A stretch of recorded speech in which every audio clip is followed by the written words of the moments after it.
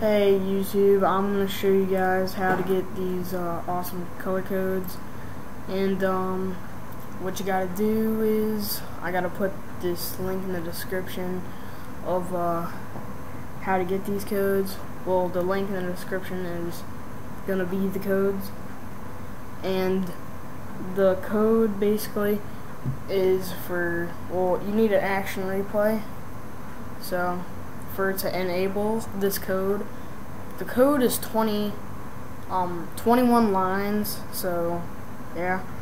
And uh, the outskirts, like the trees and stuff, they all turn black. So what you got to do is press X until you um, get a close up on his, on whoever's face, and press it, and press um the left or right buttons and then it'll um, change them colors and find uh, some really cool ones.